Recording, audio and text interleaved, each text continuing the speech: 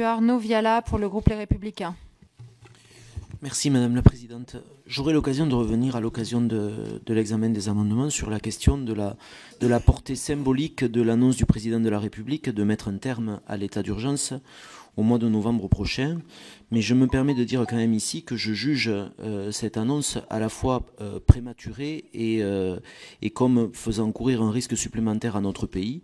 Et c'est vrai qu'on a tous en mémoire l'allocution du, président Hollande le 14 juillet dernier à midi. Et, et, et, les suites qu'elle a eues le soir à Nice. Et euh, je m'interroge sur la raison pour laquelle on court un risque politique en faisant une annonce de cette nature au moment même où le contenu du texte que vous annoncez sur la sécurité publique n'est ni euh, public, ni d'ailleurs débattu euh, par les assemblées actuellement, puisqu'il le sera ultérieurement.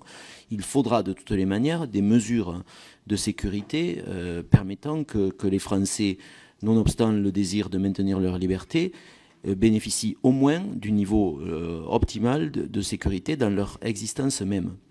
Ce que je voudrais dire, c'est que au moment où nous sommes amenés à nous prononcer pour la sixième fois sur la prorogation de l'état d'urgence, et je, voterai ce texte, euh, nous disposons de peu d'informations sur l'état du risque et de la situation. Et je voudrais attirer l'attention de la Commission sur quelque chose qui s'est progressivement euh, qui est euh, l'information des parlementaires dans les départements sur l'état du risque local, mais sur l'état du risque national aussi. Information qui avait été conduite au départ par le soin des préfets, sur demande, j'imagine, du, ministre de l'Intérieur, auprès des, parlementaires, des, des, grands élus, des responsables de grandes villes, etc., et qui ensuite n'a pas été, euh, n'a pas été euh, suivi. Et je pense que c'est un besoin que nous avons, à la fois en tant qu'acteurs locaux, mais aussi en tant que membres d'assemblée qui ont à se prononcer sur des mesures visant à garantir la sécurité des Français.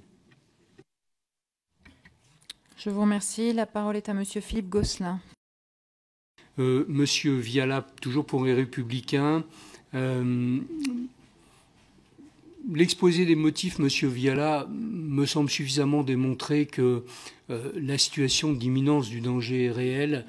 Je crois qu'elle est, l'exposé est malheureusement presque, malheureusement presque superfétatoire par rapport à, la réalité que nous avons à connaître.